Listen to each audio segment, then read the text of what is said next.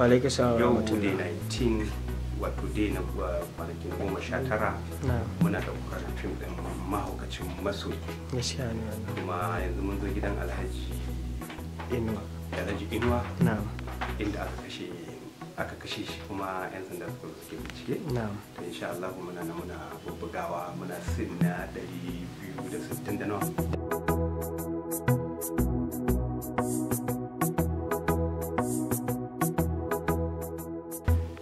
Wata muhimmiyar rawa ka taka a cikin wannan labari na mahaukacin masoyi?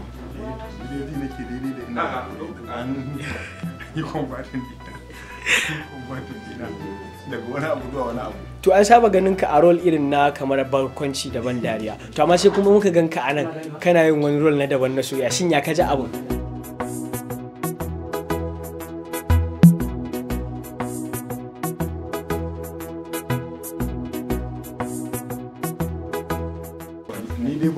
da amma an ce zan iya. To shi ya kai ya ka gani da kawo abin kaga cewar mutane sun karɓi cewar za ka iya ɗin? Ai shi yasa nake son su jira. Gaskiya ne. Su yi subscribe na channel din mutane film production domin jiran wannan sabon to shi na kenan. insha Allah za su ga sabon al'amari to shi kenan Allah ya tabbatar. To amma zuwa wani lokaci kenan? Babu jima.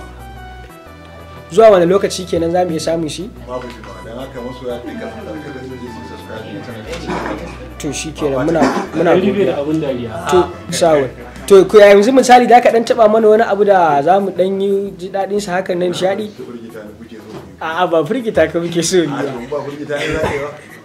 Kun canza na nan kuma nan ma ku zo za ku daidai banke da za ku zare mun wannan ne wannan ya ne cholesterol? Cholesterol. To sound ya wannan aiki yake a wajenka? A gaskiya aiki ya yi daɗi sosai. Na. na yi farin ciki a wannan ƙasa mai albarka da muka shigo. Gaskiya ne. Kuma muna yin aiki kamar da sauri da sauri yake tafiya. Gaskiya ne. To muna godiya sound.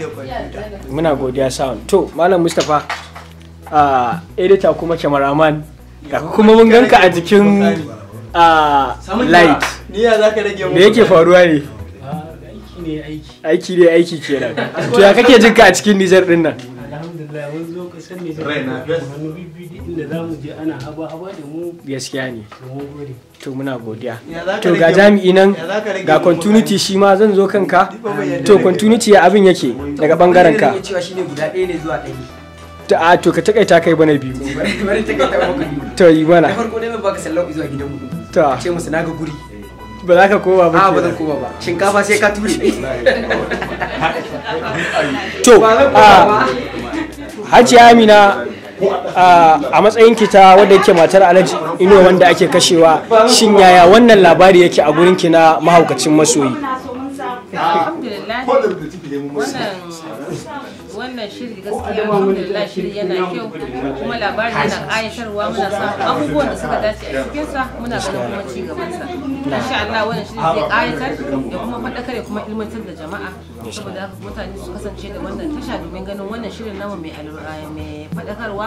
Kuma muna godiya ga mu a jamhuriyar Nijar mun zo muna gabatar da wannan shiri a jamhuriyar Nijar.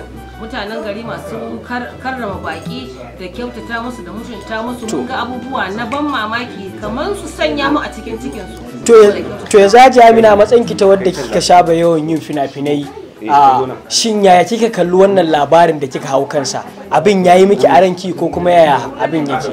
Alhamdulillah wannan rol da aka bani gaskiya na ji daɗin sa ya mun a cikin raina. Wato kin ji shi kamar gaske ke na ji shi kaman gaske. To wani rol kika taka a ciki? To na taka rol din hajiya abu Na. wajen alhaji inuwa. Na ok na'am. To muna godiya Hajiya Amina. To a malama mai bandeji a jiki ko in ce a kai da kuma karaya a hannu shin me zaki ce shin yaya kike ji da aka ɗora miki wannan abun yanzu haka? Gaskiya ne nake gaske nake zuwa kwata kwata imani na ya koma ga Allah. Gaskiya ne wannan. ga raɗaɗin ciwo. Sosai ma wani kaɗai na san yadda kaina yake zafi. Gaskiya ne. To a ke me kai kika tsinci kanki a wannan hali? Sharri ne kawai na sharrin dan miji. Ka san tun da da mun yi soyayya Eh. ya so ya aure ni. To da na aure baban shi ne ya kulla mu wato ke kin yi yan biye kenan dai? Saboda kwaɗayi na. Gaskiya ne. Gaskiya ne. To muna godiya sosai da sosai.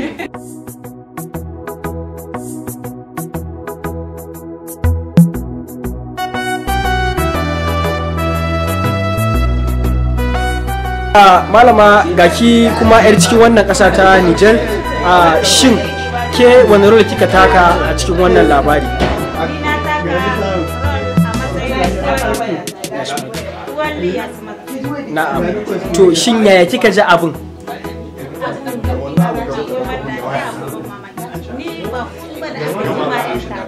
Gaskiya ne wannan.